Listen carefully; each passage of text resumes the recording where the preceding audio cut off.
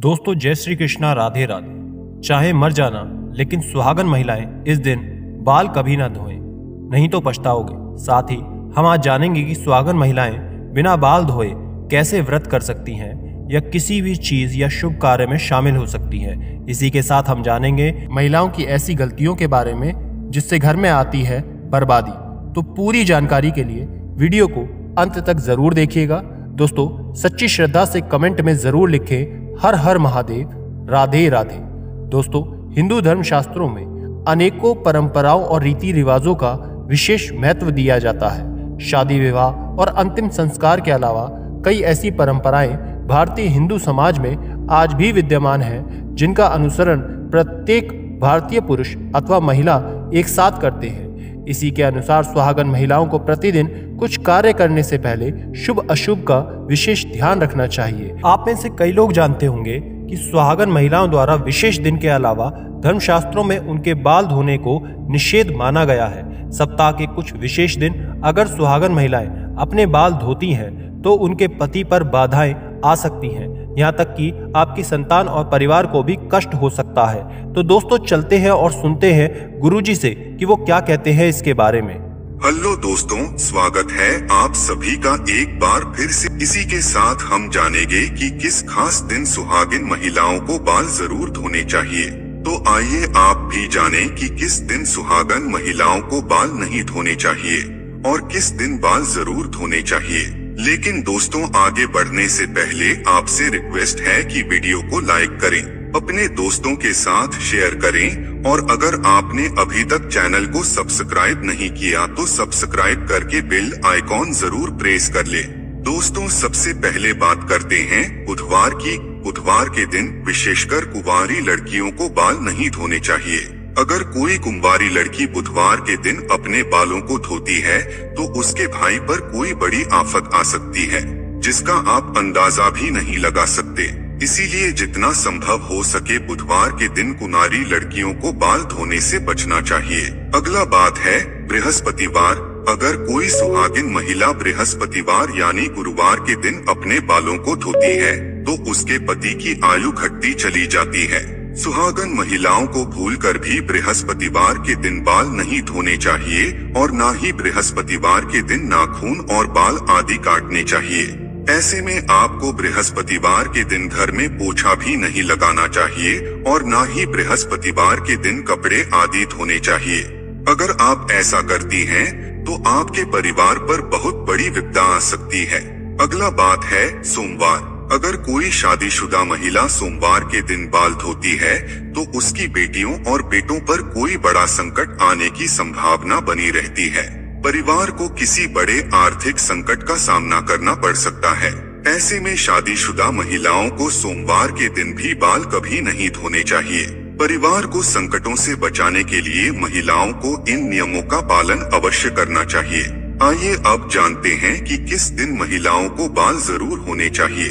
दोस्तों शुक्रवार के दिन महिलाओं को बाल ज़रूर धोने चाहिए। इससे घर में बरकत आती है और आपके घर में सुख समृद्धि बढ़ती है। जो सुहागिन महिलाएँ शुक्रवार के दिन बाल धोती हैं, उनके पति जल्द ही धनवान बनते हैं। दोस्तों अगर किसी कारणवश आप बाल ना धो सके और ऐसे में आपको किसी भी शुभ कार्य में या पूजा में शामिल होना हो या कोई व्रत करना हो तो बिना बाल धोए भी आप शामिल हो सकते हैं। बस इसके लिए सुहागन महिलाओं को चाहिए कि वो अपने मांग में सिंदूर लगाए और इसके बाद आप किसी भी पूजा में या धार्मिक पवित्र कार्य में बिना बाल धोए भी शामिल हो सकती है। हालाँकि पुरुषों के लिए धार्मिक कार्य में शामिल होने से पहले बाल धोना आवश्यक है।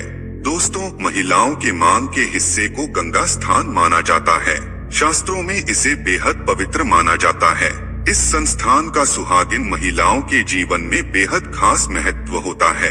मांग में सिंदूर लगाकर महिलाएँ माता पार्वती को सम्मान देती है और ऐसे शादीशुदा जोड़े पर माँ का आशीर्वाद सदैव बना रहता है। लेकिन दोस्तों, मांग में सिंदूर लगाते समय महिलाएँ कुछ ऐसी गलतियाँ कर बैठती है, जिसकी वजह से उन्हें इसका फल नहीं मिलता, बल्कि उनके पति को कष्टों का सामना करना पड़ता है। यहाँ तक कि घर में बर्बादी आने लगती है और ऐसे में पति पत्नी के बीच क्लेश बढ़ने लगता है।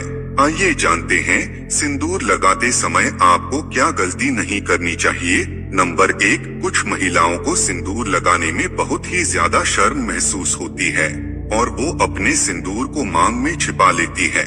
लेकिन जो महिलाएँ अपने सिंदूर को मांग में छिपा लेती है या थोड़ा सा सिंदूर लगाती हैं, उनके पति को समाज में मान सम्मान नहीं मिलता।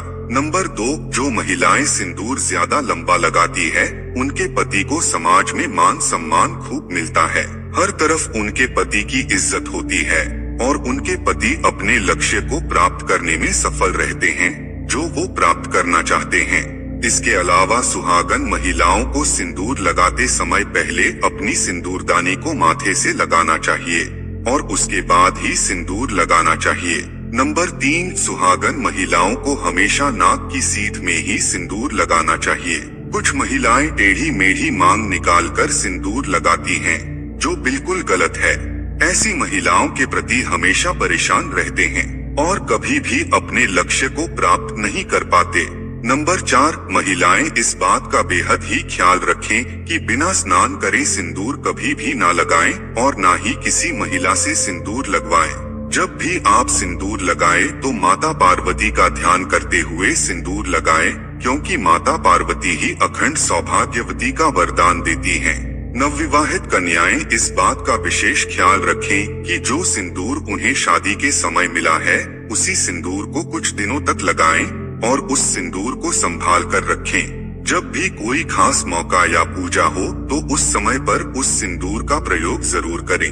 क्योंकि इस सिंदूर में सभी देवी देवताओं का आशीर्वाद आपको विवाह के समय प्राप्त हुआ था, और जब भी आप किसी खास मौके पर इस सिंदूर का उपयोग करेंगे तो सभी देवी देवताओं का आशीर्वाद आप पर बना रहेगा। तो दोस्तों, ये गलतियाँ तो घर की महिलाओं को बिल्कुल भी नहीं करनी चाहिए। सिंदूर लगाते समय इन बातों का ख्याल रखना चाहिए। इसी तरह कुछ और बातें हैं, जिनका एक सुहागन महिलाओं को हमेशा ध्यान रखना चाहिए। दोस्तों, एक महिला ही घर को संवारती है और उसकी उन्नति के लिए मार्ग प्रशस्त करती है। लेकिन कुछ काम ऐसे हैं, जो महिलाओं को भूल कर भी नहीं करने चाहिए, वरना उनके घर से माँ लक्ष्मी चली जाती है। क्या आपको पता है कि वास्तु के अनुसार महिलाओं को कुछ काम भूल कर भी नहीं करने चाहिए? अगर महिलाएँ इन कामों को करती है तो उसे घर में दरिद्रता आती है और घर में सदा धन अभाव बना रहता है। आइए जानते हैं, वास्तु के अनुसार महिलाओं को कौन सी गलतियाँ भूल कर भी नहीं करनी चाहिए? नंबर एक, अगर महिलाएँ घर में खुद झाड़ू पोछा लगा रही है तो ये काम हमेशा सूर्योदय से पहले करना चाहिए। सूर्य उदय के बाद घर की सफ़ाई करने से घर में दरिद्रता आती है।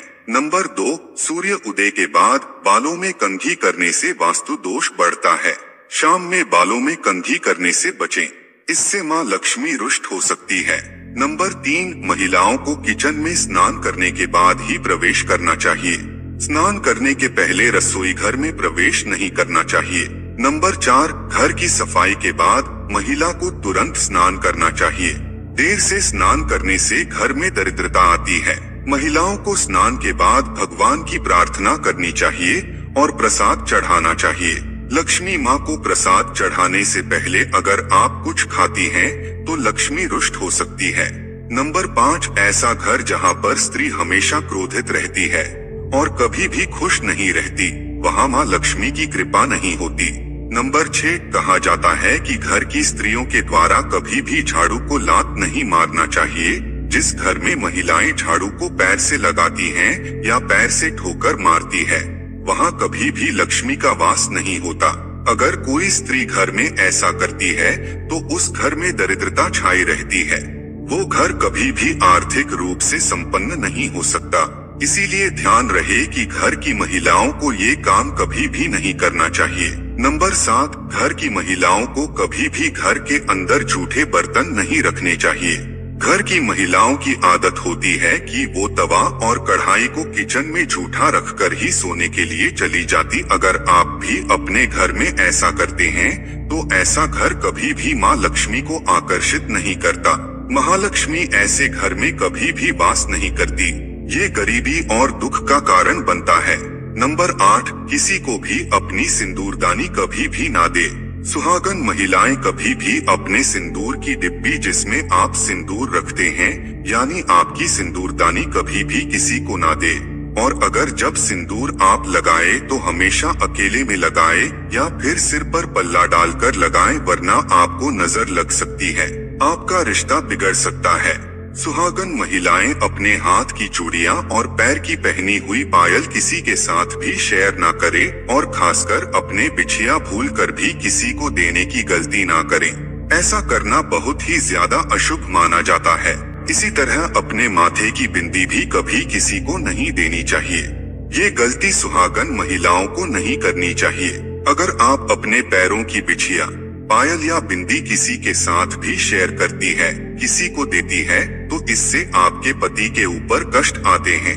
तो दोस्तों, आप कोई वीडियो कैसा लगा हमें कमेंट में ज़रूर बताएँ।